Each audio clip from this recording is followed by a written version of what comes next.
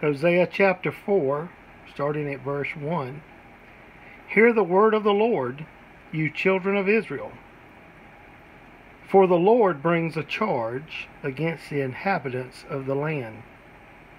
There is no truth or mercy or knowledge of God in the land. By swearing and lying, killing and stealing and committing adultery, they break all restraint with bloodshed after bloodshed, and for this reason the land will mourn, and everyone who lives there will waste away, along with the beasts of the field and the birds of the air, even the fish of the sea will be taken away. Hosea chapter 6, starting at verse 1. Come and let us return to the Lord, because he has torn, but he will heal us. He has stricken, but he will bind us up. After two days, he will revive us. On the third day, he will raise us up, that we may live in his sight. Let us know, let us pursue the knowledge of the Lord. His going forth is established as the morning. He will come to us like the rain, like the latter and former rain to the earth. Romans chapter 8, starting at verse 18. For I consider that the sufferings of this present time are not worthy to be compared with the glory which will be revealed in us. For the earnest expectation of the creation eagerly waits for the revealing of the sons of God. Because the creation was subjected to futility not willingly, but because of him who subjected it in hope. Because the creation itself also will be delivered from the bondage of corruption into the glorious freedom of the children of God. For we know that the whole creation groans and labors with birth pains together until now. And not only they, but we also who have the first fruits of the Spirit, even we ourselves, groan within ourselves, eagerly waiting for the adoption, which is the redemption of our body.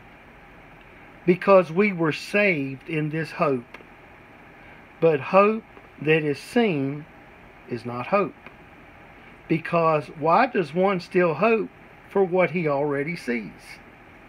But if we hope for what we do not see, then we eagerly wait for it with perseverance. Likewise, the Holy Spirit also helps us in our weaknesses, because we do not know what we should pray for as we should pray. But the Holy Spirit Himself makes intercession for us with groanings which cannot be uttered. Now He who searches the hearts knows what the mind of the Holy Spirit is, because He makes intercession for the saints according to the will of God. And we know that all things work together for good to those who love God, to those who are the called according to his purpose. Starting at verse 31. What then shall we say to these things? If God is for us, who can be against us?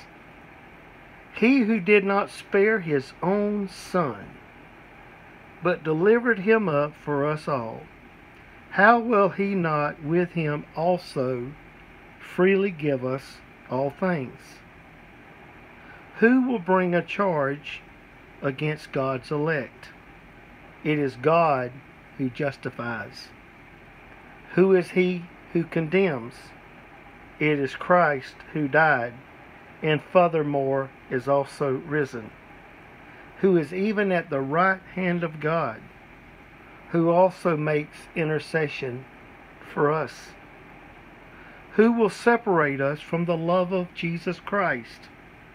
Will tribulation or distress or persecution or famine, nakedness, peril, or sword?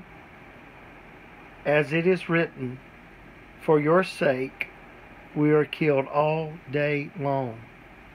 We are accounted as sheep for the slaughter. Yet in all these things we are more than conquerors through him who loved us. Because I am persuaded that neither death, nor life, nor angels, nor principalities, nor powers, nor things present, nor things to come, nor height, nor depth, nor any other created thing will be able to separate us from the love of God which is in Christ Jesus our Lord. God bless you, my friends.